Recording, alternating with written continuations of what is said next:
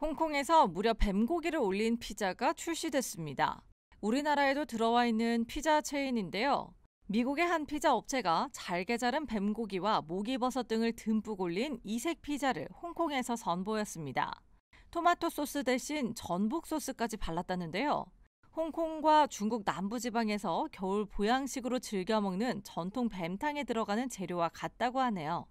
이번 피자 개발을 위해 128년간 운영된 유명 뱀고기 전문점과 협업했다고 밝혔습니다.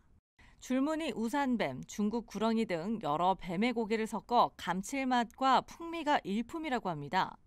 홍콩과 중국 남부 지역에서는 뱀이 겨울잠 준비로 살을 찌우기 시작하는 이맘때 탕으로 끓여 먹으면 피부가 좋아지고 몸이 따뜻해진다고 믿는다는데요. 피자로도 그런 효과를 기대할 수 있을까요? 의외로 뱀고기의 식감은 마른 닭고기와 비슷하다고 하네요.